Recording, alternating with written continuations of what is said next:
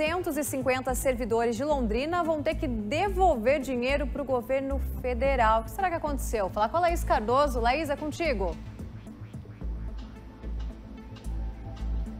É isso mesmo, Luísa. 258 servidores, de acordo com o Tribunal de Contas do Paraná, que fez aí esse levantamento.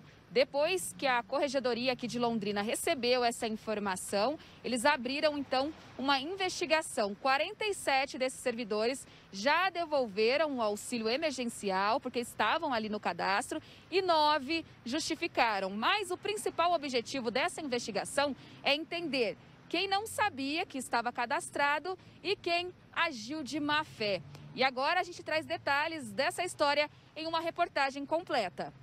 A tabela assinada pelo corregedor-geral da Prefeitura divide os servidores que receberam o auxílio de 600 reais em categorias.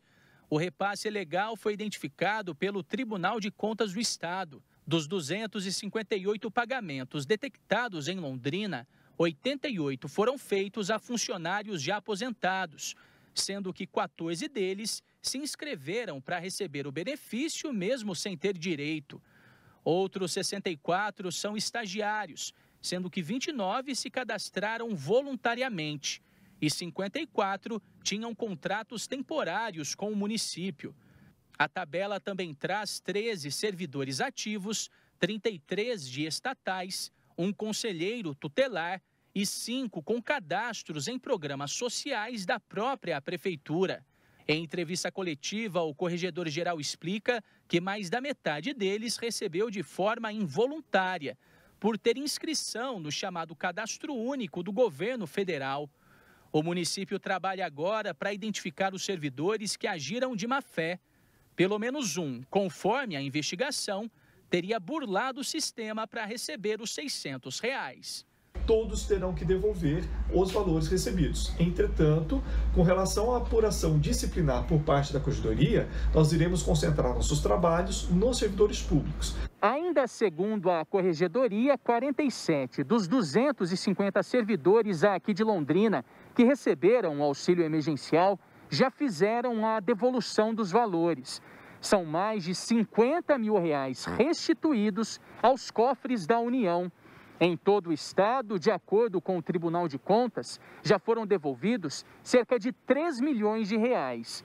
O valor corresponde a 27% dos mais de 10 milhões pagos de forma irregular a servidores públicos paranaenses. A corregedoria vai agora notificar os demais servidores para a devida devolução e investigar os que agiram de forma intencional. Se ficar comprovada a má-fé, o funcionário pode perder o emprego. Ele pode ser punido com uma advertência, uma repreensão, uma suspensão de 1 a 30 dias ou, no máximo, uma demissão. E a, e a, a graduação dessa penalidade vai depender aí da má-fé dos dados inseridos no sistema. É, para mim, no máximo, não, né? No mínimo, uma demissão para quem age de má fé. A gente sabe que tem pessoas que receberam de forma involuntária, mas outras não. E aí, Laís, pode sim acontecer essa exoneração, é isso? Exatamente, Luísa. É importante que haja essa investigação, até porque, como a gente viu aí na reportagem, muitos servidores dizem que estavam no cadastro único antes de fazer o concurso, antes de começar a trabalhar na prefeitura e que por isso, é, involuntariamente, eles receberam esse auxílio. Mas tudo vai ser detalhado aí nessa investigação. E caso haja confirmação dessas pessoas que agiram realmente de má fé, podem ser exoneradas sim, Luísa. Obrigada, Laís, pelas suas informações. Bom trabalho.